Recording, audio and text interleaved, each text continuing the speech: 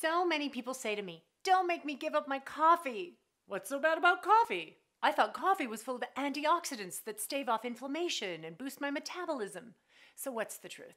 Black gold or black death? Hmm.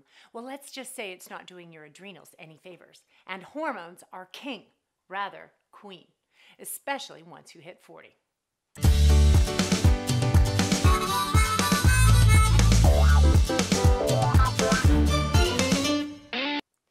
Black gold. I'm not talking fossil fuel, I'm talking coffee, the brew, the aroma. Truly black gold. Well, it's only black until I get my hands on it. Then it's more like Hawaiian Earth. I add an inch of cream and a heaping spoon of honey or xylitol or just plain old cane sugar, organic please, and voila, I have what some people have called a hot coffee milkshake. Call it what you will, it's delicious. And until about six months ago, I couldn't live without it. But now I know I must. Coffee is not the simple little roasted bean you think it is. Sure, it's handsome, smells great, but it's chock a block full of over 700 substances, including 200 acids, many alcohols, and other good time ingredients like caffeine, everyone's favorite. Many of these thingamaboos lead to digestive upset, adrenal fatigue, high blood pressure, and never mind the pesticide residues. If you don't drink organic, please do because poison sucks. So let's talk caffeine. It's a psychoactive drug, hence coffee's immense popularity. Humans love their altered states, don't we? And decaf coffee still contains caffeine and all the other substances I just mentioned. How much? Well, the average cup of Joe has between 95 to 200 milligrams of caffeine, and a cup of decaf brew falls between 9 and 14 milligrams, unless it's Starbucks. Then it's about 28 milligrams if it's a venti. A chocolate bar might have 5 milligrams as a comparison. So it's still there. The caffeine is still there. Besides that, decaf coffee is chemically altered and degraded. So you lose the few benefits coffee offers, like antioxidants. To make it worse, studies show that decaf coffee drinkers have a higher incidence of rheumatoid arthritis. Fabulous. There goes that decaf loophole. Trust me, I tried to work that angle. Back to caffeine. What's the problem? Well, caffeine equals stress. And last time I checked, no one I know needs more stress. Stress, in case you're an alien, is ugly. It makes you anxious, shaky, grumpy, mood swingy, irritable, and just plain poopy.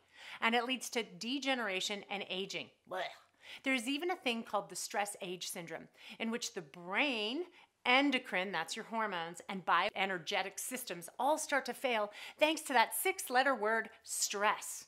Kind of makes you want to get rid of anything that causes it, don't it? Also, caffeine and stress hormones, adrenaline and cortisol, drive down levels of DHEA and human growth hormone. These important youth hormones are already on decline from about age 25 onwards. Thank you, God. Which is a major bummer because they're the ones that keep you lean, mean, and youthful. DHEA is called the vitality hormone for criminy sake. We want to keep it. By age 70, you're producing only about 15% of prime peak DHEA. And 70 is not that old, especially if you're a Hunzan. Trust me, you don't want to hasten the decline of your youth hormones. Hunzans didn't, and they're world famous centenarians. In time, stress and caffeine create adrenal exhaustion, and that looks like this.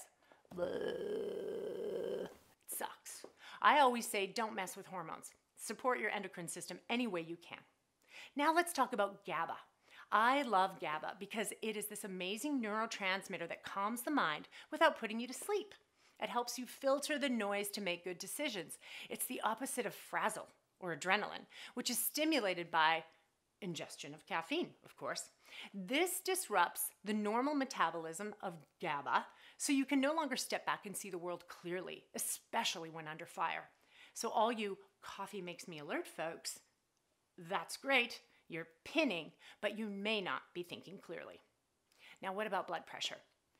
It's fact. Caffeine increases your blood pressure even in moderate doses to the level of borderline hypertension, and not just temporarily. It also causes vascular resistance. That's where your blood vessels constrict and blood flow is restricted. Have you ever noticed how your fingers get cold after you drink a cup of coffee? That's vascular restriction caused by the stress response. Your body does so because if you're attacked by a tiger, this will reduce blood loss from injuries.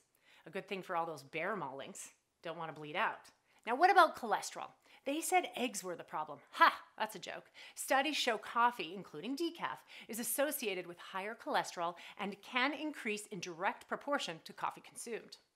There are two other chemicals in coffee, aside from caffeine, that create this effect. Two other chemicals. They're called cafestol and kahweol. Probably not saying that right. Doesn't matter. Just know that stress and coffee can most certainly increase your risk of heart attack or stroke. Genetics play a role, yes. There are many factors. I'm just saying if you're prone to any of those killer diseases, then you should truly ditch coffee, especially if you have cardiac arrhythmias. Yikes. Now, what about your liver? Well, your liver is the only organ that detoxifies caffeine from your system. And when you drink coffee, an enormous amount of caffeine is dumped into your bloodstream and absorbed rapidly by every organ and your various fluids, like saliva, semen, breast milk, and right across the blood brain barrier. Plus, there are other chemicals in coffee aside from caffeine, as mentioned, including some pretty little toxins called polycyclic aromatic hydrocarbons. Say that 60 times. They're the same cancer causing little devils isolated from barbecued meat. Every meat eating man just groaned. Don't shoot the messenger. The liver must detox those as well. This sounds easy, like the body can just take this endless assault. But caffeine breaks down into 25 different byproducts, and each of these metabolites has its own biochemical effect on the body. I'm exhausted. Now do you get me? Not so good for you. And trust me, I am, was as depressed as you are. I like coffee better than my husband. So, yes, it's depressing. And I didn't even get into how coffee leaches important minerals from the body like calcium and magnesium and what it does to your gut biome. That's not good news. Cave women did not have coffee, and we have the same biological makeup as them. Yes, you, me, and a 25,000 year old woman. We're the same, except maybe a little hotter, less hairier. You get me? Our genetics have not kept up with our modern processed diets, and that includes coffee. Sorry. So, what to drink instead? Matcha, cocoa, herbal tea. Save coffee for your once a week treat, like a glass of wine. Email me and I'll send you my matcha recipe and soon to come matcha mud mix. Go to the40girlsguide.com.